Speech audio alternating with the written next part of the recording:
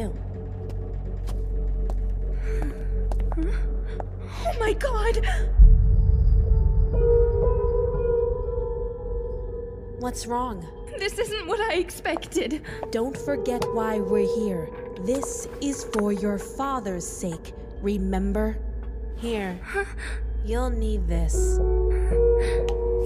I'm not sure about this anymore. I've heard that voice before. Coconut, is that you? Ugh, did I really get kidnapped by a skank like her? Wh- What? Who are you calling a skank? Don't play dumb.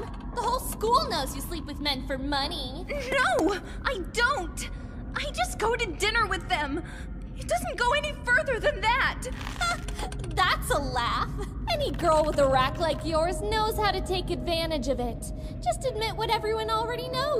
You're a total slut. I I never asked for my body to look like this. But I bet you enjoy all the money that your huge boobs are making for you. I don't get to keep any of the money I make. I give it all to my dad. How stupid! You're supposed to be milking money out of your dad, not the other way around. I give my money to my dad so he can pay off his debt to your dad.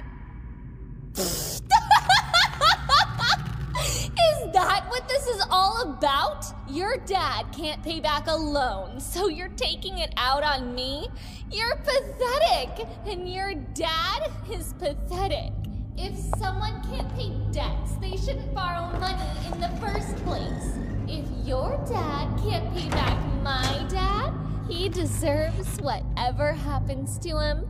Keep selling your body, though. Maybe one day you'll save up enough money to buy some self respect.